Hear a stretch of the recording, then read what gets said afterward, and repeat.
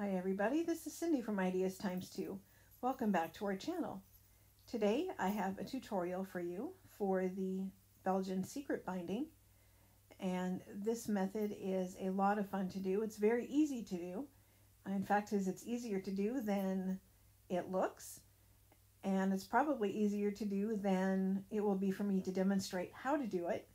Uh, so hopefully you'll stick with me today and uh, see how to do this very fun, uh, impressive uh, binding. Um, this is actually my cat's favorite method of binding because the string that you use um, to bind the book is very, very long, and she always thinks we're just playing. So um, I used, obviously, an old Scrabble board. This is from the 1940s, and I didn't want to cover it and uh, add a, a, separate spine. So uh, you can see that with this binding, the uh, front and back and spine are all three separate pieces, and that spine is held in there just with the tension of the thread.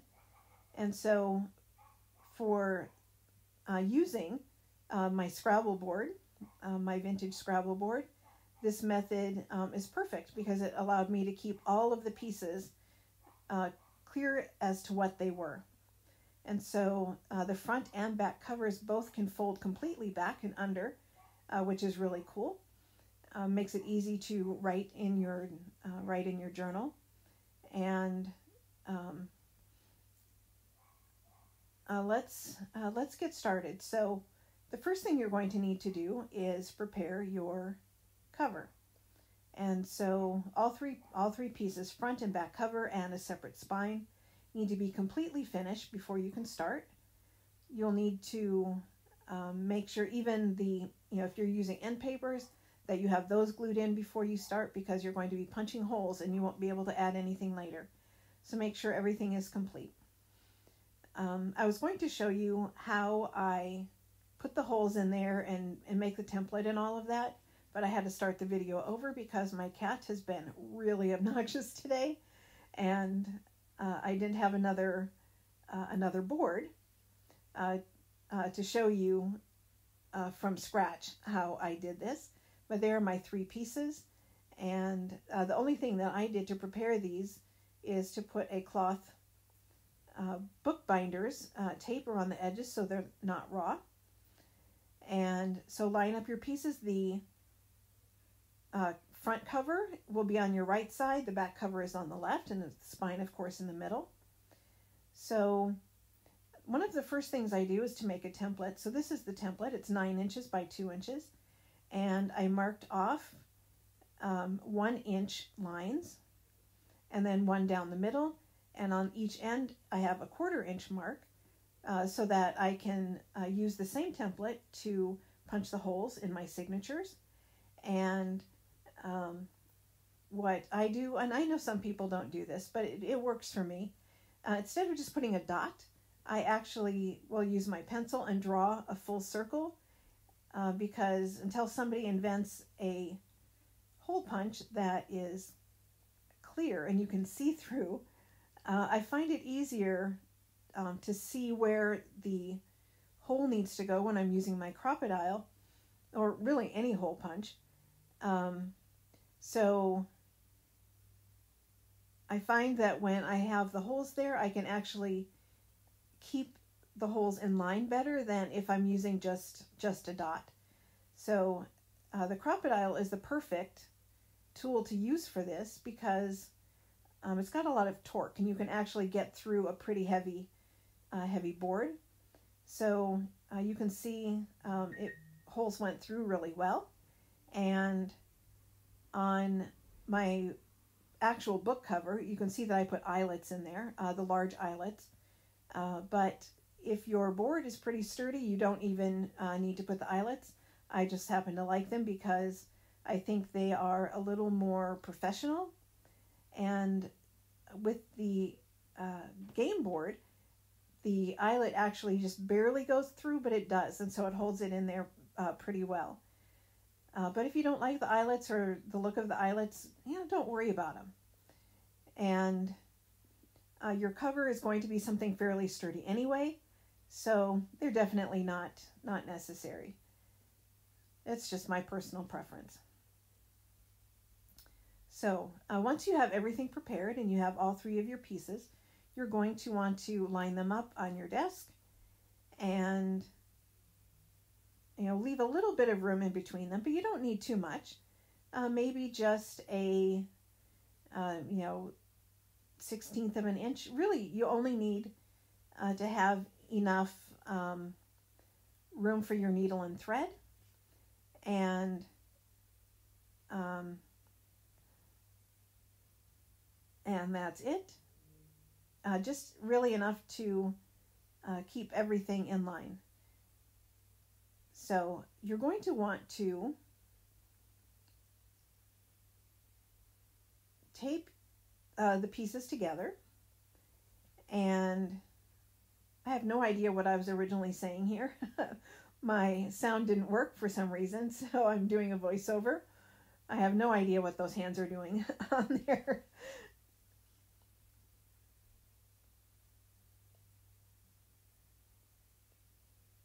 So my book is nine inches by five inches, and I have the holes at about one inch from the edge. And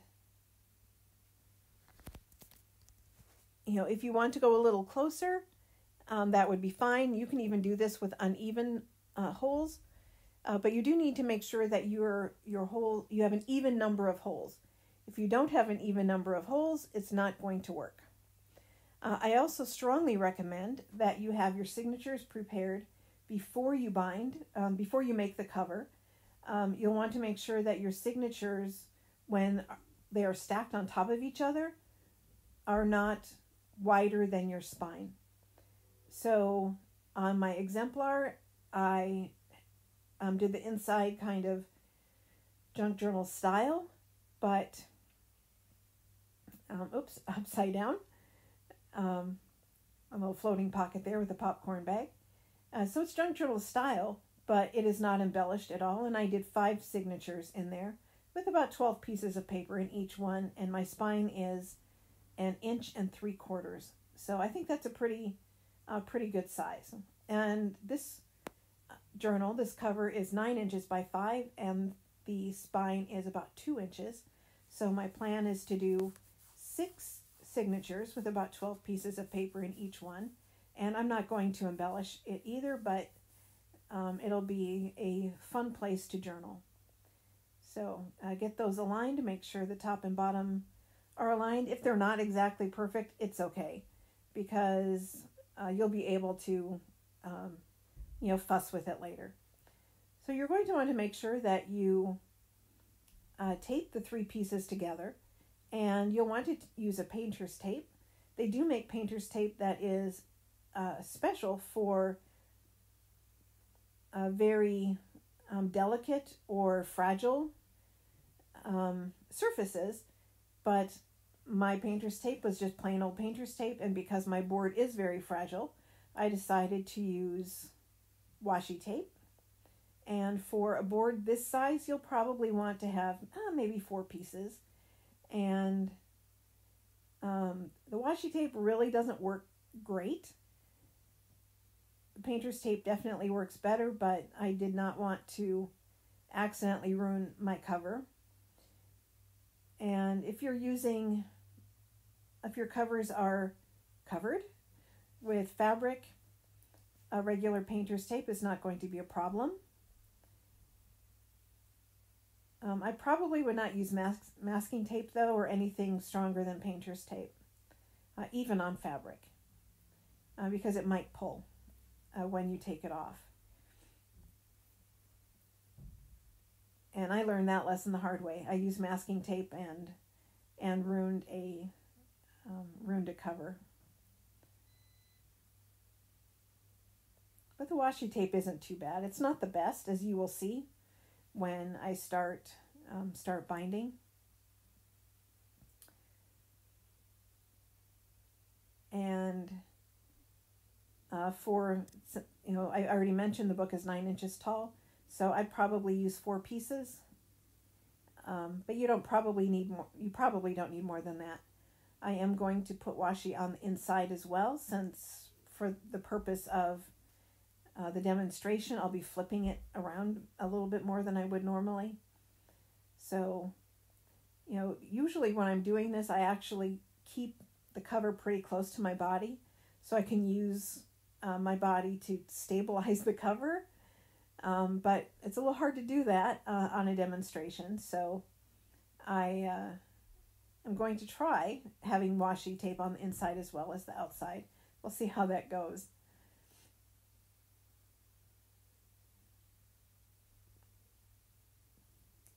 And I'll use four pieces on the inside uh, like I did on the outside.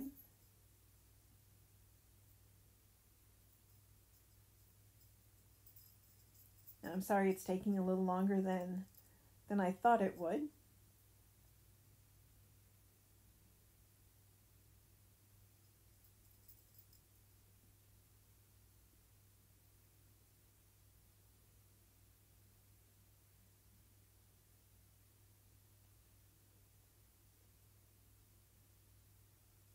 So there we go, just a little bit of washi.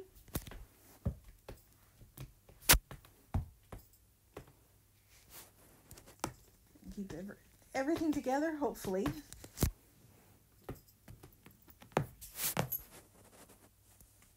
And you're going to want to have the um, top, uh, the outside of your cover facing up.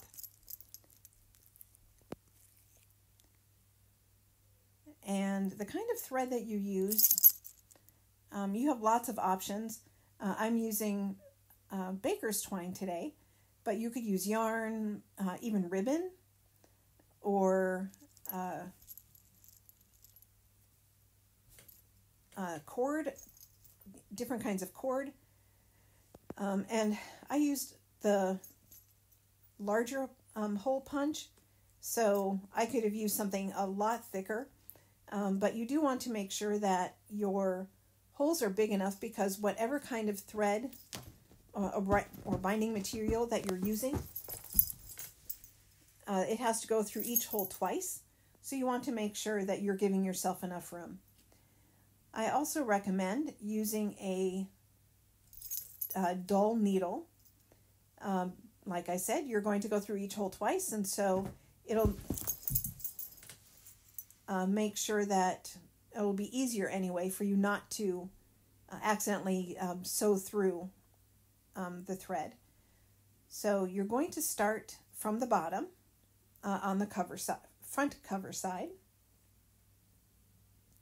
and make sure you leave about a six inch tail. And it looks like I accidentally pulled the tail through. Uh, I don't think I mentioned how much um, thread or twine you're going to need, but you're going to need more than you think you will.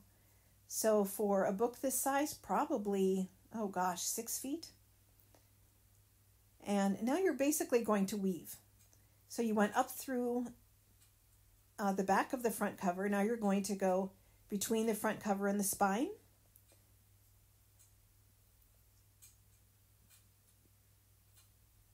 And like I, I, I know I said this, I'm going to say this probably a couple more times. This is way easier to do than it is to demonstrate.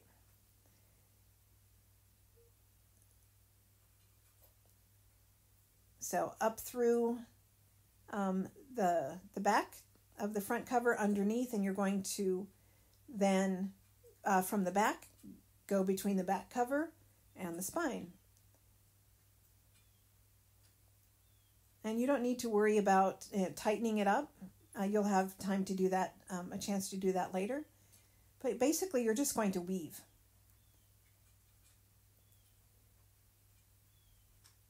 Um, it's all over and under. So then down through the back cover, and then up between the back cover and the spine. And it's really important that you keep your thread underneath the thread um, before. So always always have your needle under the thread. And so now you're going to go over the spine and then under, back under through that first hole again. Well, actually, you need to tie it first. So once you've got that first half of the row of, of on the top stitch, uh, you're just going to tie just a, simple square knot, um, that tail. I try not to have it too close to the hole so it doesn't accidentally um, get pulled through uh, or too close to the spine so that it doesn't wind up getting caught in the spine and kind of um, jamming it up a little bit. And you can cut that tail. I, I would wait and cut the tail at the end. But now you're going to go back through the same hole and repeat that process. Uh, just making sure that you keep that needle uh, and thread below the previous stitch. So now you're going to go back.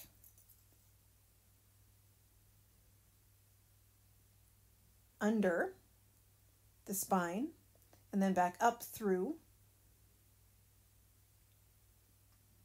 that space between the back cover and the spine and then down through again making sure you keep that that thread underneath. And so you can see it kind of makes a almost like a chain uh, stitch there and then the back is just the opposite um,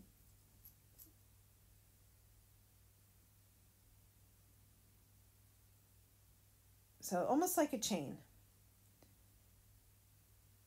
and so on the back you can see um, there are two,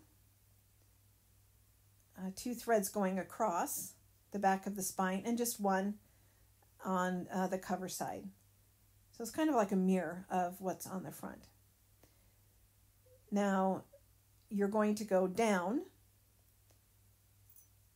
um, straight down, and kind of make a almost like a it, on the back it will almost like a look like a ladder and then you're going to repeat the process and i promise i'm not going to show you you know how to fill all eight of those eight of those rows but you're going to repeat the process just now in reverse so um, working from the back cover uh, down between the back cover and the spine and then up between the spine and the front cover.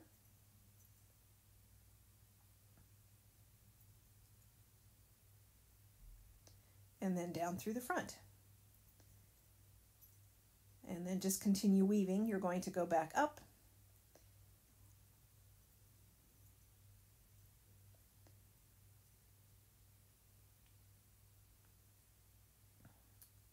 See, the washi tape was not the best um, choice to use uh, for demonstration purposes, but it is probably what was best for my very delicate um, Scrabble boards.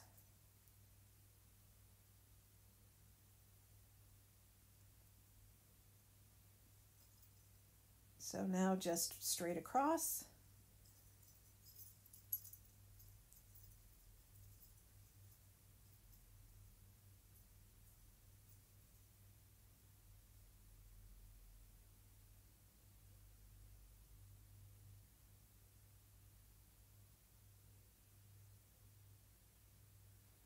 Is always keep the um, thread below the previous stitch. I'm just going to show you the first two.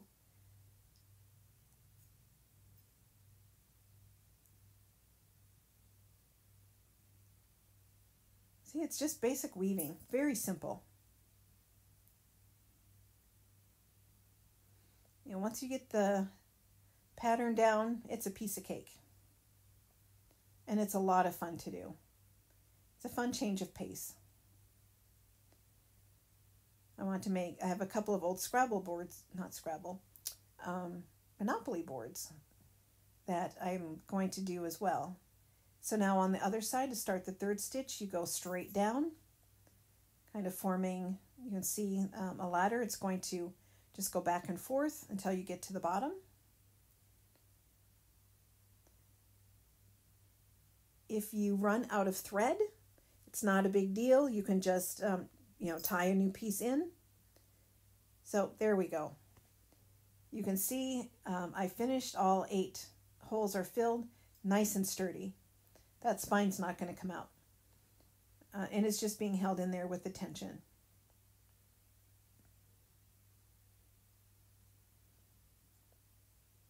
And you can see on, um, you know, that ladder formation on the back. And if you used a, a thicker thread, um, like I, I did, I ran out of thread and I just had to tie uh, another piece in there.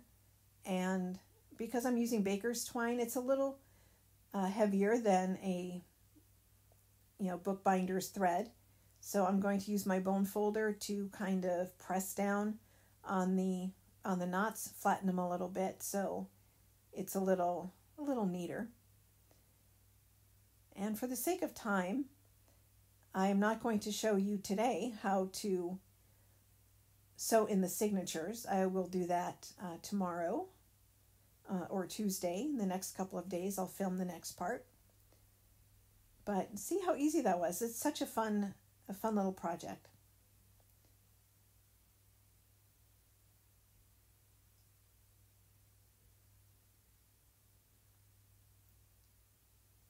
Simple, simple.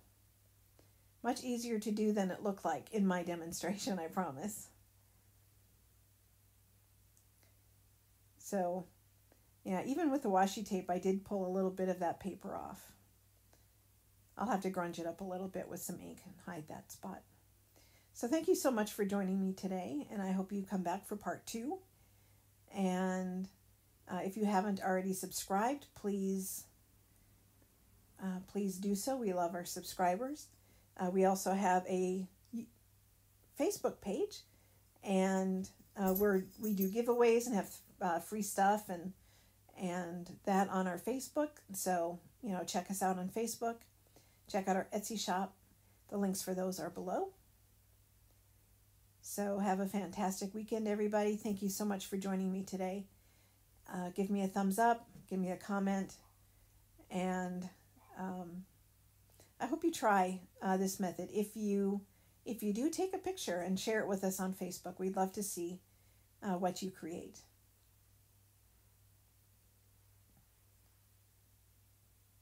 So thank you so much uh, for joining me and uh, give thumbs up. yeah, I don't know why my sound didn't work today. Voiceovers are not my favorite way of doing stuff, but it's easier to do a voiceover than start over. Bye bye, everybody.